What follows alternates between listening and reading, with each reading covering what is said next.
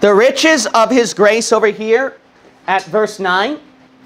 He made it known to us that's according that pleases him, that's his good pleasure, that's what he purposed in himself, he planned it out himself. But what accompanies this is colon. Okay? Did you see that? Colon. The riches of his grace. The mystery is what? Then the dispensation of the fullness of times. Okay, dispensation, what does that mean? Dispensation, what that means is actually like dispensing out. It's basically giving or administering to someone. So there are some hyper dispensationalists that think that whenever the Bible talks about dispensation, that it means rightly dividing the word of truth. No, that's not true. That's not true. Now, we do believe in dispensationalism, okay? So don't get me wrong. We believe in rightly dividing the Bible verses to the right group of people and right time period. Amen. So we believe that uh, in that form of dispensationalism. But when we look at the text here at verse 10, when it talks about dispensation, that's not what it means over here. Right. The idea of dispensationalism is biblical and true, okay? But it does but you won't find that term in your Bible dispensationalism. It's like the word rapture. It's biblical and true, but you won't find that word in your Bible. It's like the word Bible is true, but you won't find that word in your Bible. All right? You're not going to find Bible in anywhere in the Bible. So that's what you've got to understand. So hyper dispensationalists, they're very simplistic dispensationalists. They're very amateurish because they overtly divide. They automatically think dispensation means divide, and all they focus on is dividing, dividing, dividing. Bible believing dispensationalists, we're honest about it. We're honest that when we see dispensationalism, we'll divide it. But if we don't see any form of dividing or dispensationalism, we leave it alone. But hyper dispensationalists, they insist on dividing everything because it ruins their uh, neat little system about everything of Paul's writing is specifically only to the Christian church and that a Christian cannot get any claim or promise outside of the Pauline epistles. That's wrong. You look at the every single book in your Bible, I would dare say pretty much you can find something there that a Christian can apply and learn from, whether doctrinally or spiritually or devotionally or historically. All right. Now, if we go over here at verse 10, so that in the dispensation of the fullness of times. All right. So at the point where God administers or gives out what? Of the fullness of times. So this one you can put as a time period when it talks about fullness of times. But you can't say dispensation is referring to that one. It's more like giving out and ministering. But what is he giving out and ministering over here?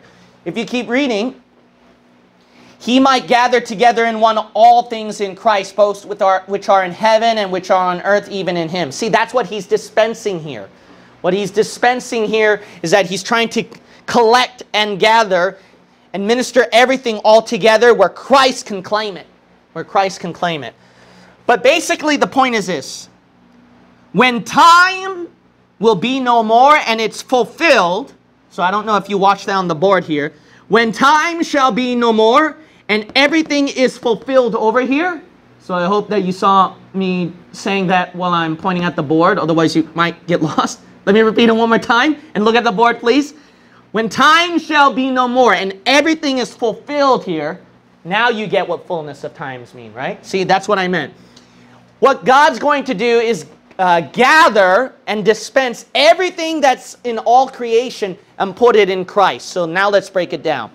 He might gather together in one. He's going to gather everything in one thing. All things in Christ. Everything in Jesus Christ. So there's going to so when time is fulfilled and it's no more, he's going to put everything in Christ. Both which are in heaven and which are on earth even in him. So everything in heaven, everything on earth, it's going to go inside Jesus Christ. You see that? So go to Revelation 22. This is the deep doctrine here that Dr. Ruckman doesn't really go into, and he's not sure himself. And me, I'm not sure myself either. There's a book which you have to be careful, but the guy, he gets into dispensationalism and he gets really deep. It's called After the Millennium by Trench. Trench is the author, and the, the booklet is After the Millennium or After the Thousand Years. That is a, that's a book that goes into really heavy doctrine on what's going to happen after the millennium and eternity. When I talked about Revelation 22, I really didn't get into that. But basically, it's this how the dispensation goes is that after the millennium, 1,000 years of Jesus Christ, if you recall Revelation 20 through 22, we have the great white throne judgment, as you might recall. After the great white throne judgment, then begins a point which, he, which we call eternity. And in eternity, that's where we reign with Jesus Christ forever and ever. But here's the thing Larkin and others, which I don't know how they do it, and Dr. Ruckman still doesn't know himself, but he believes that when we hit eternity, that's where deep doctrine hits. What's going to happen within eternity? What's going to happen within eternity? In eternity, Larkin goes that there's going to be like a period of 33,000 years. A period of 33,000 years where we're ruling throughout all of creation separately. And you remember I taught you that at Revelation 22. I also included where we're where the millennial and tribulation saints they're populating, right? They're yeah. populating throughout all of the universe. But then what happens after that? Larkin limits it to 33,000 years, and then the, some of the dispensationalists teach this. Then they talk about where everything is going to be gathered one together in Christ. So basically, Christ, he takes up all of creation, puts it back in himself, and all of mankind and everybody goes back inside Jesus Christ. And that's how it ends. So that's what they teach. So the verse that they will use is this verse, verse 10 here.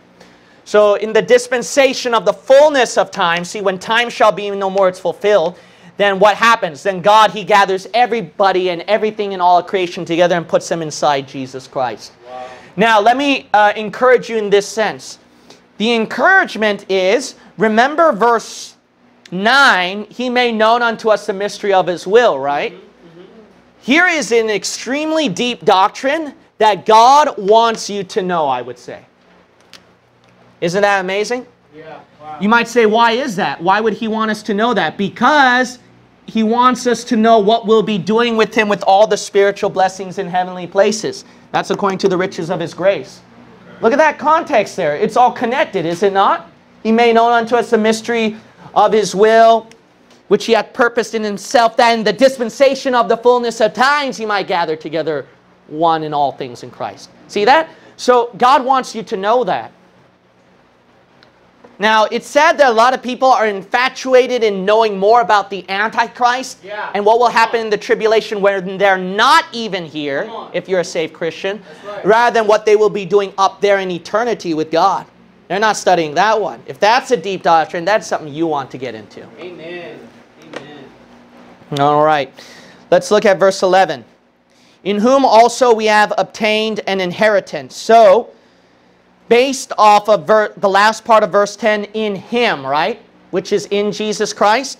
In Jesus Christ, verse 11, in whom, in Jesus Christ, also we have obtained an inheritance. We also gained an inheritance. Okay, so look at Revelation. Uh, I mentioned that to turn to Revelation 22, so your hand's already over there. So let me read this one real quickly. So, verse 7, verse 7, Revelation chapter, oh, it should be 21, I apologize. 21, verse 7. 21, verse 7. Now, so what God says is that we obtained an inheritance. So, all of this is the riches of His grace. This is our inheritance. Why? Because we're going to gain everything. Everything. All the spiritual blessings in heavenly places. So look at this one. He that overcometh shall what? Inherit all things. All things of what? Look at verse 1, verse 2, verse 3, 4. That's, that's all of that, all of creation. Look back at Ephesians 1, it says, gather together everything in heaven and earth in Christ. All of that is, is our inheritance. And people are working so hard just to grab a little bit of this world. You know how small that little portion of that earth is compared to everything in your eternity? Yeah. Everything you're going to get in the entire universe? That's right. The world is too small. That's right. The world is too small in comparison. So this is what we gained. That's an incredible blessing. However, there is something that we got to understand.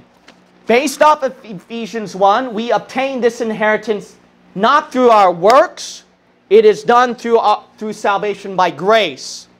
However, there are portions in the Bible where it talks about us losing an inheritance. So let me give you a few examples. Yeah. Let's look at the book of Galatians Come on, preacher. chapter 5. Galatians 5.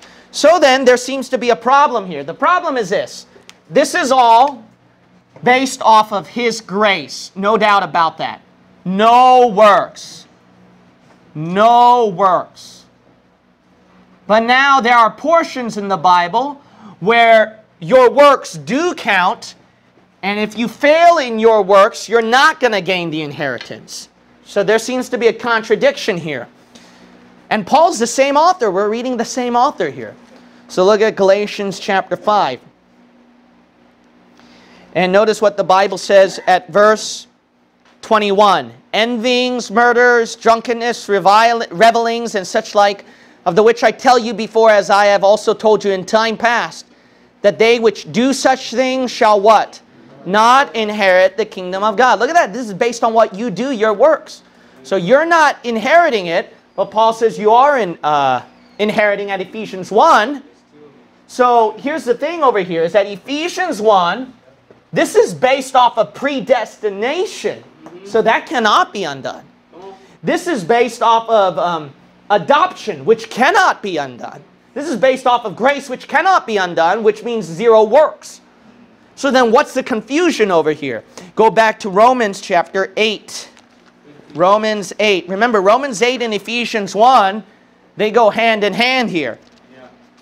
The latter part of Romans 8 tells you all the promises, just like Ephesians 1, but the first half of Romans 8 tells you here there's a division between flesh and spirit. And when you follow the works of the flesh, then you can lose your inheritance. But I thought that it's irreversible. We can't lose this inheritance. There are two. Yeah. There are two. That's the key over there. There are two. Ephesians 1, as you might recall, all of that is based off of in God the Father. God the Father. Why? Because He provided this salvation for you. Since He provided this salvation for you, God the Father predestinated and it's irrevocable. However, there's another thing where you're a joint heir with Christ. This is based off of God the Son. So there's your other inheritance. It's based off of God the Son here. And in God the Son, it's based on a condition of your works.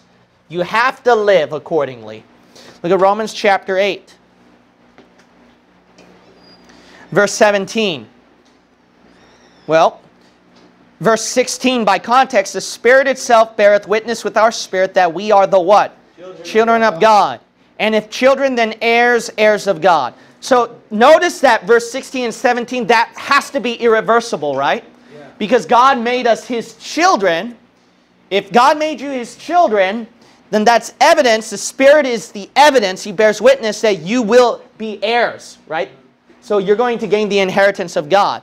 But look at the next part of verse 17. Set, the next part of verse 17 shows there's a condition. And joint heirs with what?